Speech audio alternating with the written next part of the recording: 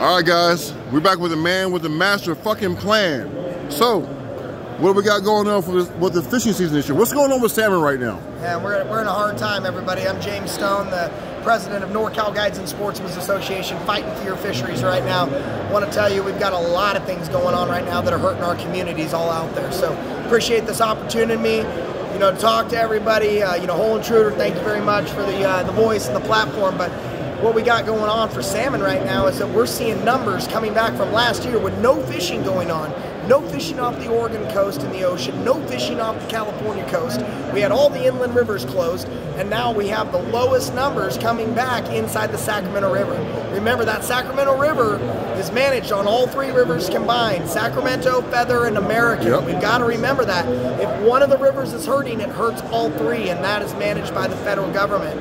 The Mokelumne River is a separate fishery. It's managed by the state for harvest as well as implemented by the commercial fleet, paying for those fish for enhancement fish to catch more fish out in the ocean. So the Mokelumne is managed completely separate. What we're seeing is, is this disconnect. We call it the oasis out in the ocean, right?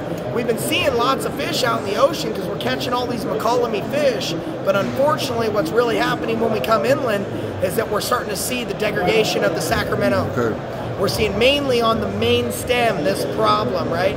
Last year, we're seeing less than 10,000 fish coming back on the main stem of the Sacramento. It's one of the all-time lows, if not the, the worst it's ever been in the history. The Feather River saw about 35,000 fish come back total, which is about an average run on the Feather River with fishing. Remember, there was no fishing, right?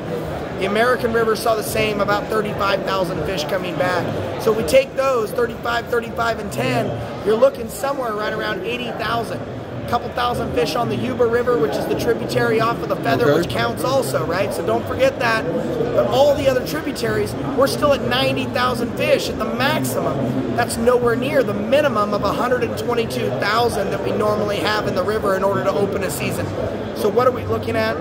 2024 is not looking good, ladies and gentlemen. We're looking like they're going to probably close the salmon seasons again. We are going to try to fight for the right to have some type of fishery for some of these state-managed fisheries. So you might see some advocacy for the Mokelumne Inland. You might see some advocacy for the Eel and the Smith River, which are independently managed. We got to remember that every fishery is managed differently. But the main two Sacramento rivers are the Klamath Trinity and the Sacramento Valley. Those are the main two that are managed by the federal government and dictate the majority of the salmon policy. So on behalf of NorCal Guides, we just came out with a new documentary. Go check it out on YouTube. It's called Long Live the King. And that documentary, if you find it on our YouTube channel, is going to explain everything that I'm talking about.